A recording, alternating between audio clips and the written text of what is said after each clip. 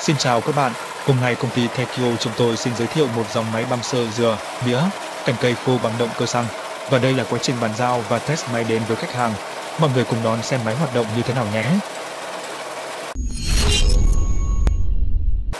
Với ưu điểm sử dụng động cơ giật nổ, máy phù hợp sử dụng ở những nơi hiện có nguồn điện không ổn định mà vẫn có thể đáp ứng tốt nhu cầu sử dụng của bà con. Máy đạt công suất động cơ 5.5 HP, loại động cơ 4 thì một xi lanh, giữ bắp treo, nhưng 25 độ, nhiên liệu sử dụng xăng.